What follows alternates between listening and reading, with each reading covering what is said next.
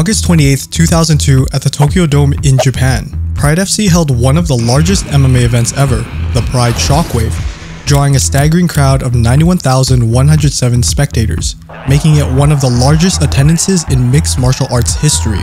Yet, in the world of mixed martial arts, the name Pride Fighting Championships might ring a bell. But beneath the thrill and the glamour, a sinister undertow tugged at the foundation of this federation. In the 90s, before Pride was born, combat sports thrived on novelty. Fight promoters were hungry for something new, fresh, and exciting. Something that could captivate the Japanese passion. Everything from professional wrestling to kickboxing and mixed martial arts. It was common for fighters with all sorts of backgrounds and reputations to call each other out. One man was commonly targeted with these callouts is none other than Rickson Gracie, one day, Yoji Anjo, a Japanese professional wrestler and future UFC participant, took it upon himself to force Gracie's hand.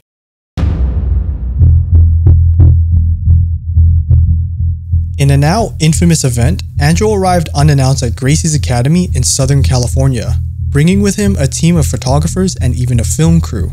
His bold plan was to force Gracie to live up to his pledge of fighting for honor, not just money. Gracie allowed Anjo to enter but kept the film crew outside, the result of that fight has assumed an almost mythical status due to its elusive recording, and the recording was owned solely by Gracie.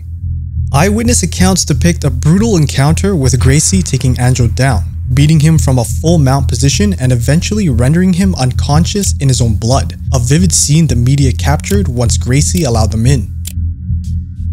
Gracie's chilling remark about the incident later emphasized the distinction between fighting for money and honor, if we fight for money, I'll stop hitting you when you ask me to. If we fight for honor, I'll stop hitting you when I feel like it. News of the fight quickly spread to Japan, fueled partly by the shocking video evidence. This made Gracie an even more enticing prospect for fight promoters. The marketing potential of a showdown between Gracie, a genuine martial artist, and the likes of Takada, a superstar pro wrestler, became irresistible. The promoters at KRS decided to capitalize on this opportunity, and they offered Gracie a proposal he couldn't refuse. A true fight with no fixes or funny business, but with a massive payout. The first fight of Pride FC called Pride 1, Gracie vs Takada was set. Birth of a phenomenon was witnessed as nearly 48,000 spectators flooded the Tokyo Dome to see the inaugural Pride FC event. Oh. Bad position. Position like this and you stay in it. Oh, here we go. He's going to go for armbar. There it is. There we go. Oh, he's got it. He's got it. Takada's got the hands locked. Takada taps out. Gracie stood victorious over the inexperienced Takada, locking him in an armbar just 4 minutes and 47 seconds into the fight.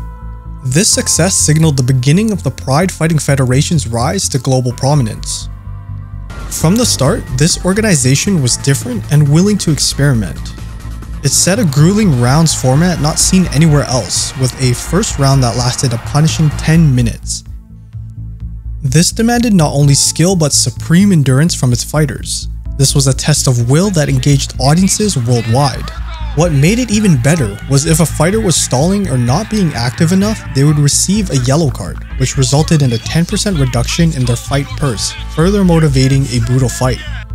It also featured freak show fights. One example is the fight between Brazilian Jiu-Jitsu expert Royce Gracie and sumo wrestler Akebono Taro at Pride 14 in 2001. Despite the significant size difference, Gracie won the match by submission.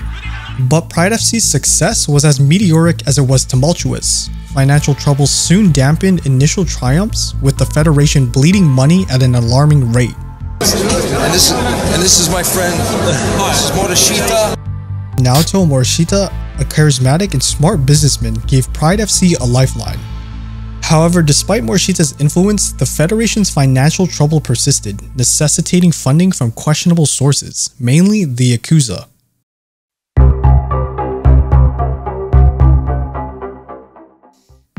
Imposing, elusive, and shrouded in mystery, the Yakuza have long been a force within Japan's criminal underworld. With a history that reaches back to the Edo period, the Yakuza has transformed from groups of gamblers and street vendors into a structured, complex, and powerful criminal organization. Their influence spreads wide across various industries, from entertainment to sports, and their dealings are marked by secrecy and sophistication. The enigmatic Yoshinori Watanabe was a pivotal figure within the Yakuza, who allegedly held considerable sway over Pride FC. Leader of the Yamaguchi Gumi, the largest syndicate within the Yakuza, Watanabe was no stranger to the sport.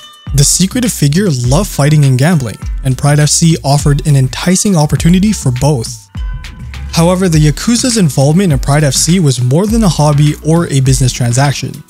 It was an opportunity to exert control over a popular entertainment platform. Initially, the financial ties between Pride FC and the Yakuza were expertly concealed. Yet, a few suspicious transactions eventually came to light. A string of hefty investments was made into Pride FC from sources that could not be clearly traced, with many insiders suspecting they originated from Yakuza affiliated enterprises. Shortly after, a sense of dread grew within the Federation, with some speculating that Pride FC was becoming little more than a puppet in the hands of the Yakuza. Stories of fighters and other key individuals being coerced into signing contracts with Pride FC began to circulate. These alleged threats ranged from subtle intimidation to outright physical aggression. This ensured that the Yakuza could control the fighters they were betting on, increasing their odds of winning. Allegations of fight fixing were also rampant. Several bouts were accused of being manipulated to favor certain fighters. There were instances of suspicious refereeing, strange decisions, and suspected cheating. When referees wear an earpiece, I mean, come on, when the referee's wearing an earpiece, there's something dodgy about that because the producers or the owners, the bosses, whatever you want to call them, they're like, hold on, stand them up, put them down, reposition them. There's no need for a referee to have an earpiece in. In addition, Pride FC contracts stated no explicit ban on steroids. They didn't care. They didn't discriminate. In fact, they even encouraged people to take steroids. They didn't care if you were taking steroids, but if you were on drugs, if you were found to be taking cocaine, heroin, or anything like that, that was it. That wasn't good. Steroids, good. Recreational drugs, bad. We were okay with the steroids, but they were bad with the drugs. And if you did, you didn't get your purse at all. You did not get paid. The lack of a rigorous drug testing protocol indicated the Yakuza's willingness to go to any lengths to ensure a profitable outcome. As time passed, this influence kept growing, with the owners being threatened to pay protection money to various Yakuza groups. Failure to do so would result in disruption of events or even violent incidents. With heavy financial trouble and the need to pay the Yakuza to prevent further violence, it was only a matter of time before it all imploded.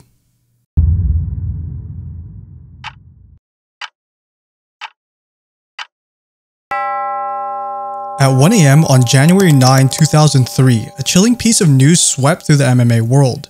Naoto Morishita, the president of Pride FC, was found dead. The official verdict was suicide. Morishita was reported to have died by hanging, but the timing and suddenness of his death raised many eyebrows. Rumors started to swirl around Morishita's company, Dreamstage Entertainment, and its financial status. It was alleged that DSE was under immense debt, with the major creditors being none other than the Yakuza.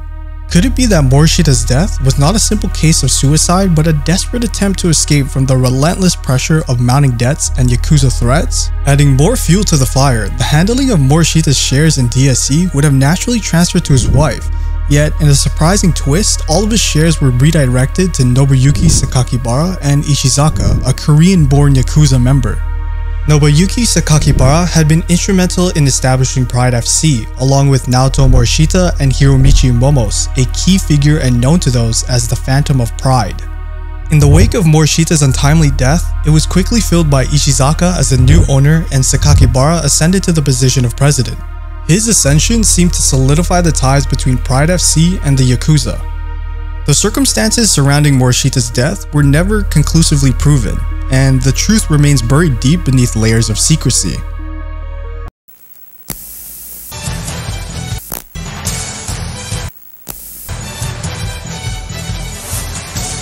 An incident in November 2003 showcased the dangerous connection between the Yakuza and Pride FC.